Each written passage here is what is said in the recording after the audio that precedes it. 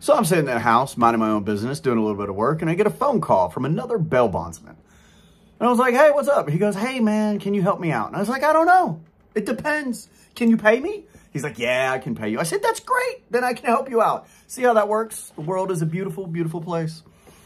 He says, listen, I'm having a little bit of a hard time finding one of the guys I got on bond. He's missed his court date. I got a warrant for his arrest and I can't find him. Can you help me out? I said, sure. Tell me what you know. So he lets me know the guy's name and where he's supposed to be staying. And as soon as he says where he's supposed to be staying, I know that I know two things that this bail bondsman does not know. Number one, that street, there are two of them. One is in Asheville, one is in Fairview. If you punch it into Google, Google's going to send you to the wrong one 100% of the time. The second thing is, is that I own property on the street.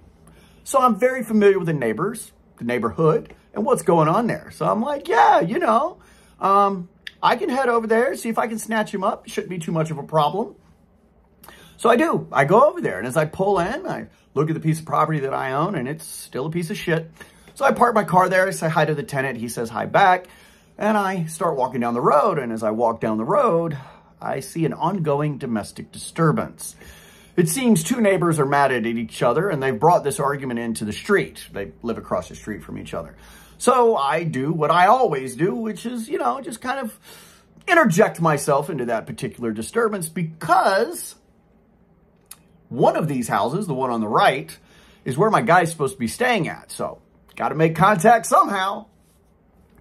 So I walk up there and they're in the middle of an argument. They're pointing and yelling and screaming. And I just kind of bring my five foot eight, 135 pound ass right into the middle of it. I'm like, hi guys, what's going on?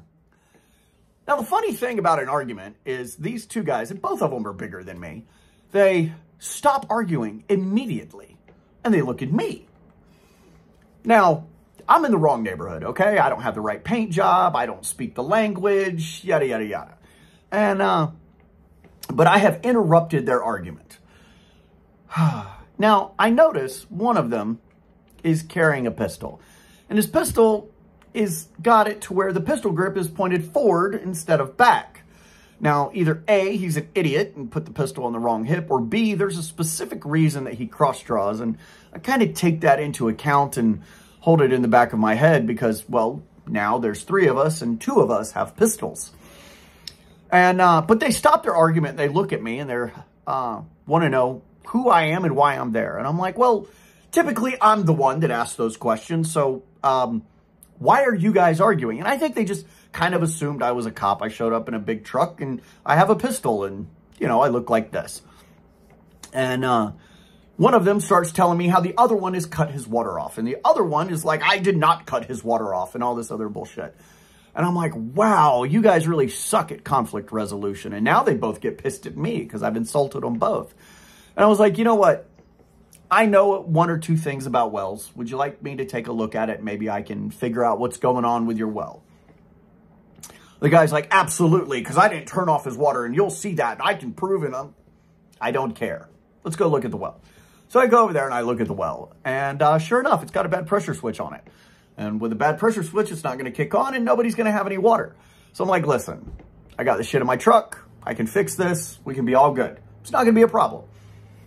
And both of them went from hating me to all of a sudden they like me. So I go get my tools. I go over there and I'm working on the pressure switch. And, you know, in under 15 minutes, I've got the old pressure switch out, the new pressure switch in, and there's water and everybody's happy. And so they're like, wow, you know, cool, thanks, man. And I'm like, no problem. Now, back to the reason that I'm here. Uh, this house right here, it's got little numbers on it. Uh, that's the house I'm looking for. And the guy goes, that's my house why are you here? And I'm like, ah, do you know so-and-so? And he goes, yeah. What's he done this time? I said, well, you know, I don't know. And honestly, I don't care, but he does have a warrant. And the guy goes, well, I don't want him living at my house anyway. He's just here because my daughter is asking him to be here because he doesn't have a place to go. I said, he does have a place to go. He absolutely does. The place is called jail. And he goes, man, that's freaking awesome. And I said, well, that's great. So he's here now. Can I, can I get him now? And he goes, no, he's not here now. I said, where is he? He says, uh, he's run up the street to get cigarettes. And I'm like, fucking great. Like, I can set this shit up now, you know?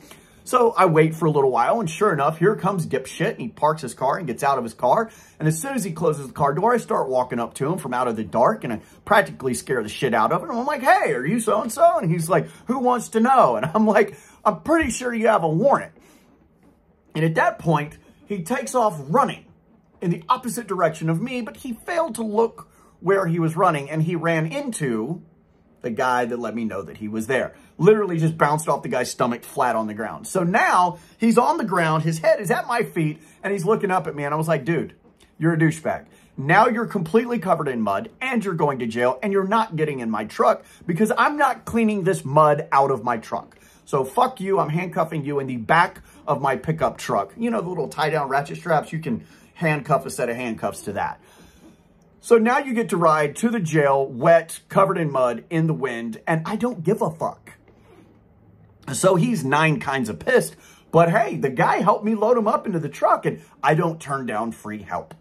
So there's a couple morals to this story. One, don't always assume that your neighbors are being pricks. Sometimes shit just breaks or misunderstandings happen. Number two, if you're dating a guy and your dad doesn't want him living in the house, he's probably not a good guy you should probably, you know, date a guy that doesn't have warrants. Um, just a thought. And uh, other than that, that was my night. I hope you guys have a wonderful day, and I'll talk to you later.